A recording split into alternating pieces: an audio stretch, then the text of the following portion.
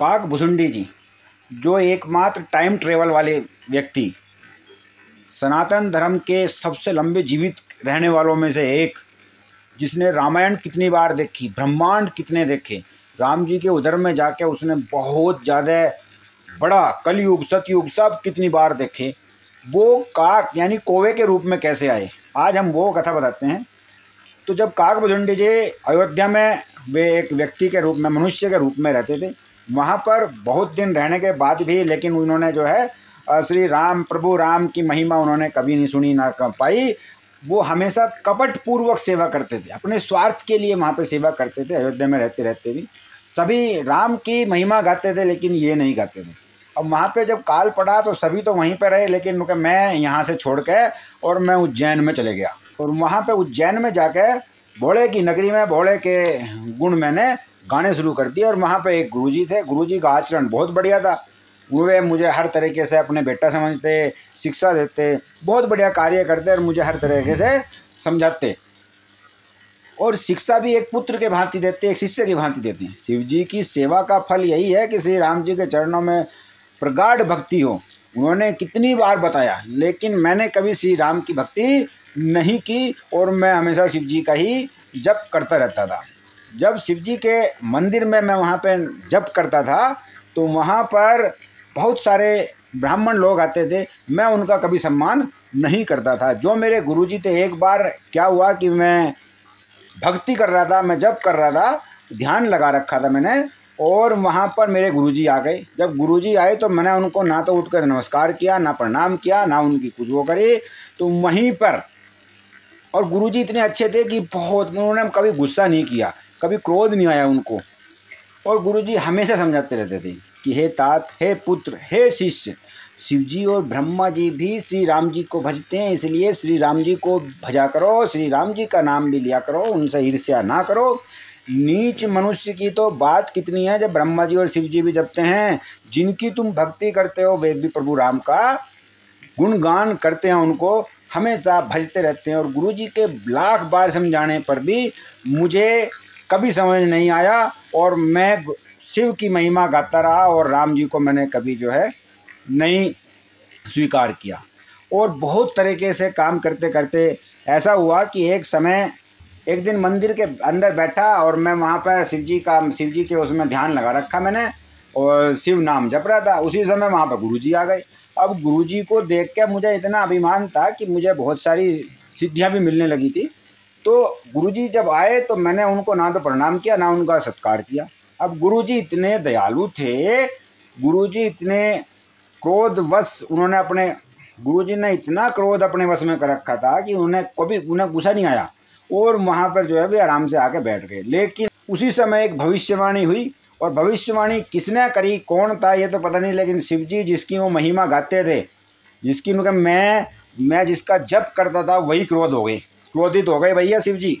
और शिव जी क्रोधित होकर एक आकाशवाणी, और आकाशवाणी में, मंदिर में क्या हुआ? क्या बोलते हैं कि, हे मूर्ख अभिमानी, तेरे गुरु को क्रोध नहीं है, इसलिए तू अत्यंत कुटिल हो चुका है। तेरा चित्त कपट से भर चुका है।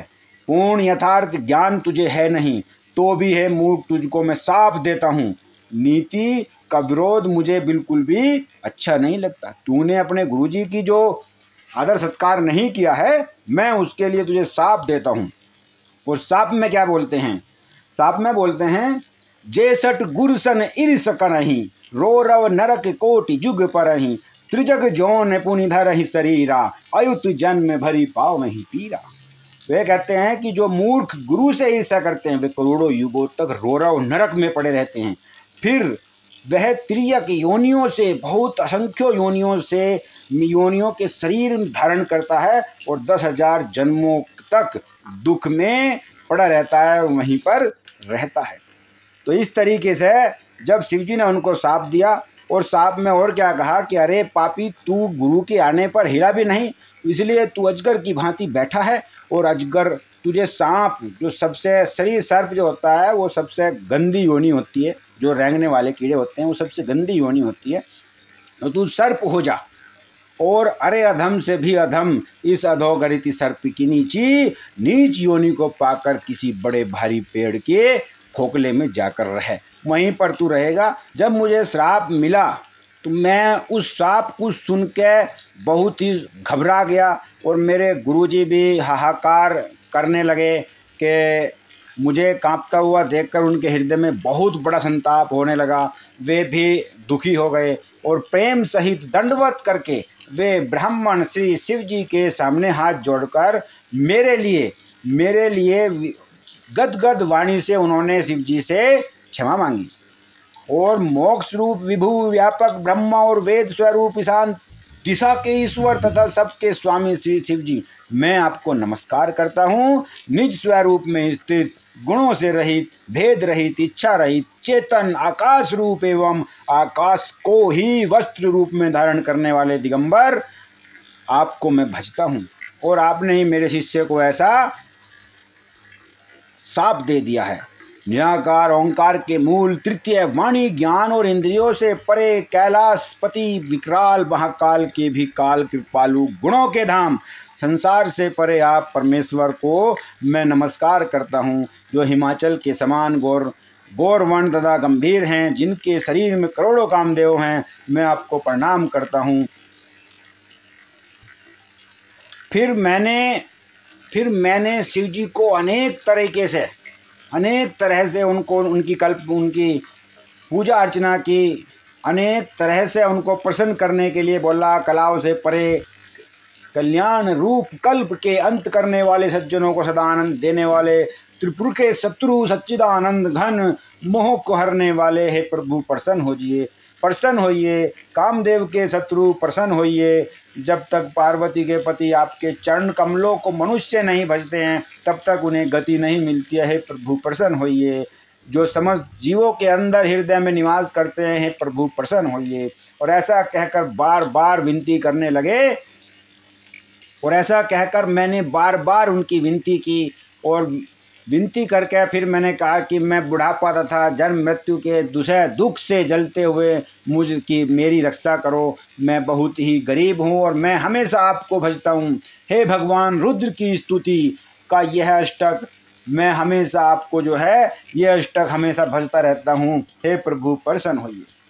अब सर्वज्ञ सुनी बिनती सर्वज्ञ शिव देखी विप्र अनुरागु। पुनी मंदिर नब बानी भई दिज बर बर मागू। सर्वज्ञ शिव जी ने विनती सुनी और ब्राह्मण का प्रेम देखा तो मंदिर में आकाशवाणी हुई कि, हे द्विज श्रेष्ठ, वर मांगो।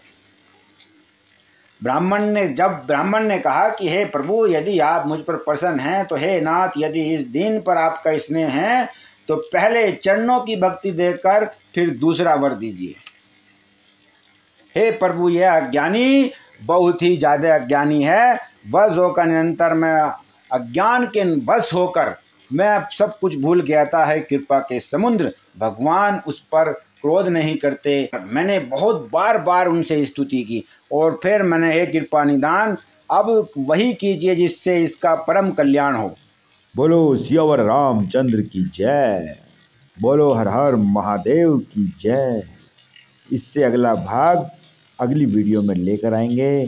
तब तक के लिए बोलो सियावर रामचंद्र की जय।